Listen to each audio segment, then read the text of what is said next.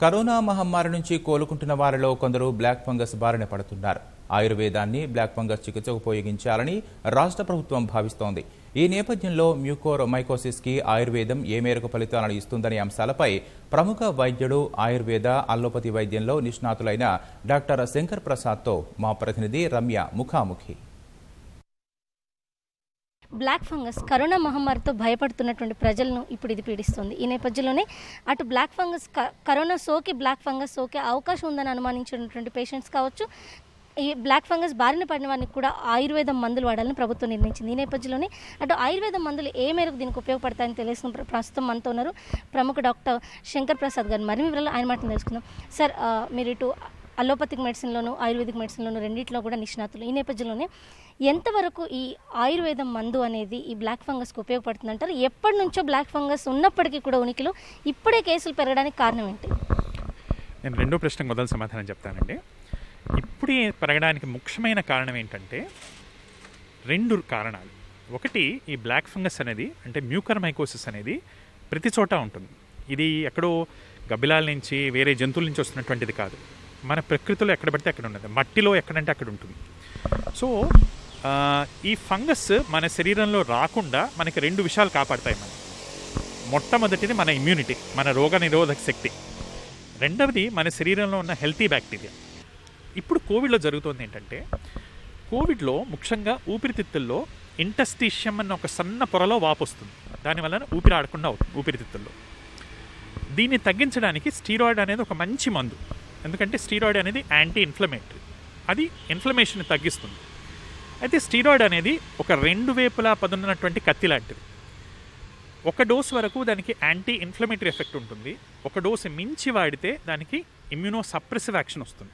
దీని వలన ఇమ్యూనిటీ తగ్గి యాంటీబయాటిక్స్ కూడా వాడటం వల్ల బ్యాక్టీరియల్ ఇది తగ్గి ఎవరైతే బలహీనంగా ఉన్నటువంటి పేషెంట్స్ ఎవరికి మొదటి నుంచే డయాబెటీస్ ఉంది వాళ్ళలో ఇటువంటి జబ్బు మనం తిరిగి చూస్తున్నాం. ఇది అంతగా కనిపించే జబ్బు కాదు. ఇక రెండో విషయానికి వద్దాం. ఆయుర్వేదం దీనికి పనిచేస్తుందా? అంటే దీనికి టైమే సమాధానం చెప్పాలి. ఎందుకంటే ఇంత ఉద్ధృతిలో మనం ఫస్ట్ టైం మనం ట్రై చేస్తున్నాం. అయితే ఆయుర్వేదంలో ఇటువంటి కండిషన్స్ని డిస్క్రైబ్ చేశారు. పూతినస్యం అని కానివ్వండి లేకపోతే పీనాసంలో కొన్ని వెరైటీస్ దుష్ట పీనాసం అని కానివ్వండి ఇలాంటి వాటికి వీటి కొంచెం సామ్యం ఉంది అని అనిపిస్తుంది. సో అందువలన ఇప్పుడు వేరే మందులు అవైలబుల్ లేవు ఉండట్లేదు అనేది ఇంకో సత్యం. ఇప్పుడు ఒక చిన్న ఎగ్జాంపుల్ చెప్తాను ఒక చిన్న సత్యం చెప్తాను మీకు.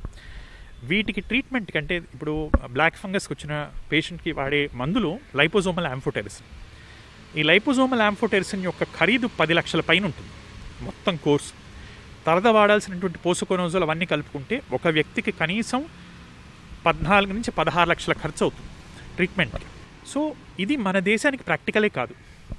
అందువలన మన తరఫు నుంచి మనం ఏమైనా చేయగలమా అనే ప్రయత్నం ఇప్పుడు జరుగుతోంది. అంతేకాని ఈ మందు వాడేస్తే పూర్తిగా తగ్గిపోతుందని ఇప్పుడే చెప్పే దశ లేదు ఆ పరిస్థితి కనిపించట్లేదు. But it is a sincere effort మనకున్న స్ట్రెంగ్త్ ఆయుర్వేదం కాబట్టి మన పెరట్లో ఉన్నటువంటి వైద్యం కాబట్టి మనం దీన్ని ప్రయత్నం చేయడం జరుగుతుంది. సో ఎప్పుడు కూడా ఒక న్యాచురల్ ప్రోడక్ట్ స్టీరాయిడ్ ముందర ఎప్పుడు పనిచేయలేదు అది ఉన్నంత వరకు ఇది ఎప్పుడు పనిచేయదు సో ఫస్ట్ దీన్ని తగ్గించుకొని దీన్ని ఆప్టిమైజ్ చేసుకొని అప్పుడే దీంతో మనం ప్రయత్నం చేయగలుగుతాం.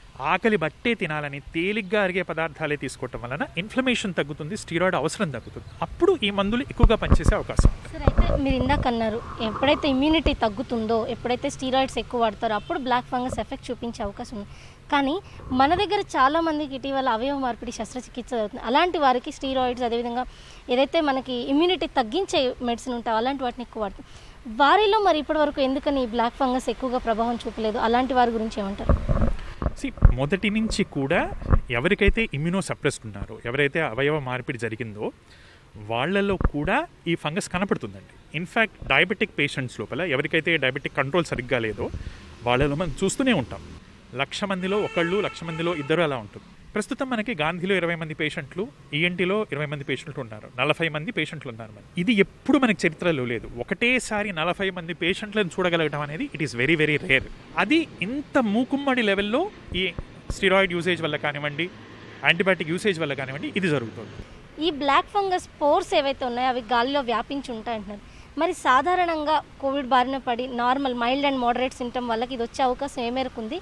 చాలా వరకు కూడా అంటే ఇది ఒకరి నుంచి ఒకరికి వ్యాపించే వ్యాధి కాదంటున్నారు. ఇంతలో ఎంతవరకు వాస్తవం పూర్తిగా వాస్తవం అండి. నేను అదే చెప్తున్నాను. ఒకళ్ళ నుంచి ఒకరికి వ్యాపించాల్సిన అవసరం లేదు. ఈ ఫంగస్ అనేది ప్రతి చోట ఉంది.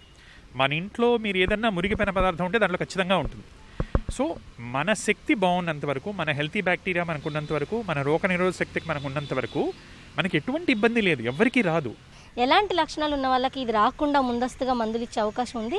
ఇప్పటికే బ్లాక్ ఫంగస్ బారిన పడిన వాళ్ళకి కూడా ఇందులో మెడిసిన్ ఇస్తున్నారు. ఇప్పుడే బ్లాక్ ఫంగస్ బారిన పడిన వాళ్ళకి ప్రభుత్వం తీసుకున్న విధాన నిర్ణయం ప్రకారం స్టార్ట్ అవుతుందండి. ఇంకా స్టార్ట్ అవ్వలేదు. But within this week probably అది స్టార్ట్ అవుతుందని మన చీఫ్ సెక్రటరీ గారు కానీ ఆయుష్ సెక్రటరీ గారు కానీ మనకు చెప్తున్నటువంటి విషయం. ఇక రెండవది ఆయుర్వేదంలో ప్రివెంటివ్ మెడిసిన్స్ ఎవరికి అవసరము అంటే రిస్క్ ఫ్యాక్టర్స్ ఉన్న వాళ్ళకి. అంటే ఎవరు? మెయిన్గా పది సంవత్సరాల కంటే డయాబెటీస్ ఉండి లేదా డయాబెటీస్ నియంత్రణలో లేకుండా చాలా రోజులు స్టీరాయిడ్స్ మీద ఉన్నవాళ్ళు వీళ్ళకి ముఖ్యంగా ఈ మందులు అవసరం. ఎల్డర్లీ వాళ్ళు above sixty years long standing diabetes పది సంవత్సరాల కంటే ఎక్కువ diabetes uncontrol diabetes prolong steroid ఐదు రోజులు స్టీరాయిడ్ పది రోజులు స్టీరాయిడ్ వాడిన వాళ్ళు కాదు. నెల రోజులు నలభై ఐదు రోజులు స్టీరాయిడ్స్ మీద ఉన్నవాళ్ళు వీళ్ళ. కోసం ప్రివెంటివ్ మెజర్స్ అనేవి అవసరం. సార్ అయితే ప్రస్తుతం ఆయుర్వేదంలో ఏ ఏ మందుల్ని ఇప్పుడు ఉన్నటువంటి అంటే మ్యూకోర్ మైసోస్ మైకోసిస్ వచ్చే అవకాశం ఉందనుకున్న వాళ్ళకి సజెస్ట్ చేస్తున్నారు. సి స్టేట్ గవర్నమెంట్ అంటే కమిటీని ఎస్టాబ్లిష్ చేసిందండి దానికి. ఇట్ ఈస్ అండర్ కన్సిడరేషన్ ఎందుకంటే ఇది న్యూ డిసీజ్ కాబట్టి ఇప్పుడు చెప్పినటువంటి మందులు యాక్చువల్లీ ప్రిలిమినరీగా సజెస్ట్ చేసినటువంటివి. దాంట్లో కూడా మూడు రకాల మూడు కేటగిరీస్ ఆఫ్ మెడిసిన్స్ చెప్పారు. రెండు కేటగిరీస్ జబ్బు వచ్చిన వాళ్ళకి ఒక కేటగిరీ ప్రివెంటివ్గా హై రిస్క్ గ్రూప్ వాళ్ళకి చెప్పడం జరిగింది. మిగతా వాళ్ళందరికీ ఆహార నియమాలను చెప్పడం జరిగింది. ఇప్పుడు ట్రై చేస్తుంది ముఖ్యంగా గంధక రసాయనము లేకపోతే సంశమని వటి అని సుదర్శన ఘనవటి అని నిషామలకి చూర్ణమని వసంత కుసుమాకరమని అని అంటే ఏదైతే ఫంగస్ మీద ఎఫెక్ట్ చూపిస్తుందో ఏదైతే బాడీ ఇమ్యూనిటీని పెంచుతుందో ఏదైతే ఆ సంబంధిత దోషాలని తగ్గిస్తుందో వాటి పరంగా ఏదైతే కొంచెం అగ్నిని పెంచుతుందో ఇటువంటి ప్రిన్సిపల్స్ తోటి ఇప్పుడు ట్రీట్మెంట్ ట్రై చేయడం జరుగుతుంది. ప్రజలు సాధారణంగా వైద్యులు ఇవి ఒకటి రెండు మందికి ప్రిస్క్రైబ్ చేస్తున్నారనే మందుల్ని సొంతంగా వాట్సాప్ల ద్వారా చూసి తెచ్చుకునే పరిస్థితి ఏర్పడింది. అలాగే ఈ మందుల్ని కూడా తెచ్చుకొని ముందస్తుగానే వాడితే ఎలాంటి ప్రభావం ఉండే అవకాశం ఉంది? సి ఫస్ట్ ఆఫ్ ఆల్ అండి సి ఈ మందులు కోవిడ్కి సంబంధించిన మందులు కాదు. ఒకటి నెంబర్ వన్ నెంబర్ టూ వీటిని వాడాల్సిన అవసరం లేదు. ఆయుర్వేదం చెప్పిన ఒక మహత్తరమైన సత్యం ఏంటంటే మన ఆహారం సరిగ్గా ఉంటే మనకి మందులు వాడేటువంటి అవసరం ఆటోమేటిక్గా తక్కువగా ఉంటుంది. మన ఆహారం సరిగ్గా లేకుండా కిలోల కిలోల మందులు తీసుకున్నా మనకు పని చేయదు. ఎవరైతే హై రిస్క్ గ్రూప్ వాళ్ళు ఉంటున్నారో వాళ్ళకి ఈ మందుల్ని వాడితే వాళ్ళకి మేలుగా ఉంటుంది.